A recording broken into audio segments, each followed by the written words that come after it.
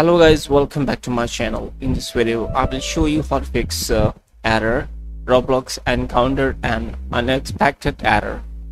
So you can face different types of error for roblox while opening or closing. So let's get started. Solution number one. If you are using norton antivirus on your system then uh, right click on your uh, roblox player and go to properties and copy this target right click on it and copy okay? And go to your norton's antivirus and go to exclusions or options and click on add and paste your link. Solution number two go to search bar on your windows. Tap here run. Press enter. Tap here percentage local app data percentage. Click ok. Go to temp folder delete all files and folders from here or delete Roblox folder. Hit delete or delete all files. Solution number 3. Go to search bar on Windows. Type here Microsoft Store. Go to Microsoft Store. You need to install Roblox from Microsoft Store click on get. Solution number four go to this pc right click here go to properties. If you have windows 10 home N edition or windows 10 pro N edition or windows 11 N edition it means your windows N version. So in this case go to search bar on your windows type here manage optional feature go to manage optional feature and click on add a feature and tap here media feature pack. So you need to install or add media feature pack.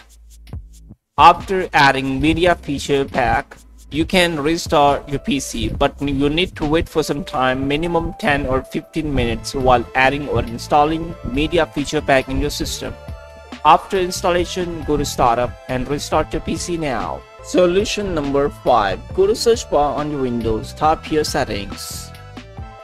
Go to system settings. Update and security. Windows security.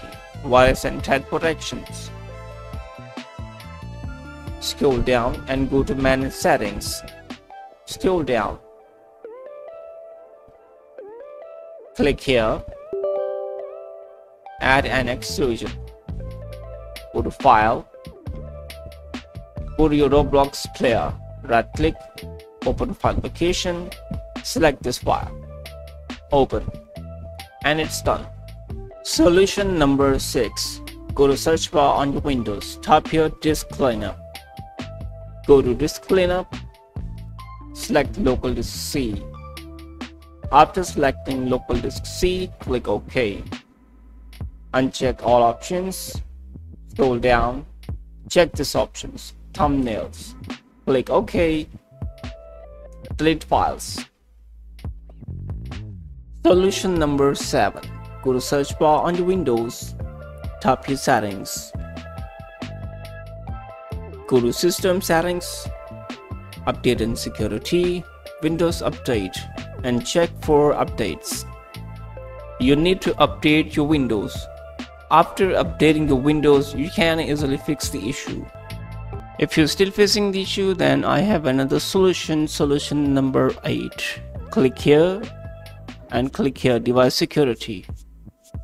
Windows security and device security and core isolation. Click here and you have to turn it off. Okay, after disabling, go to search bar on your Windows tap your settings go to system settings and go to apps.